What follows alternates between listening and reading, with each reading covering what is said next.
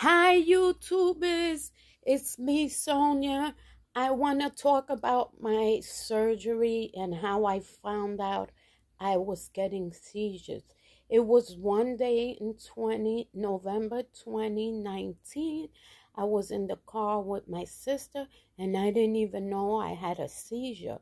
So she she woke me up. She goes, "Sonia, I think you just had a seizure." So we were um, in Connecticut. So we made a stop to the Connecticut hospital where they confirmed that I had a seizure.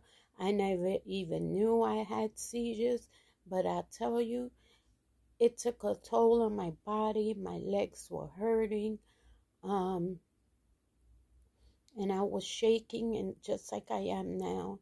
So I guess now, I guess if you sleep through your um, seizures, and your body hurts and you wake up with a sore body, that could be a sign of a seizure.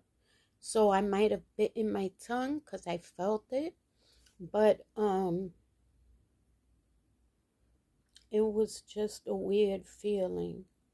And then, um, you know, when you get this diagnosis, you feel strange. Like, how the hell? Like, really? I've eaten healthy my whole life you know, not the health, healthiest eater, but I, I've been working out. I've been working out for 20 something years. And the only thing I could think of is that um, I used to, you know, growing up, I had radioactive iodine treatment.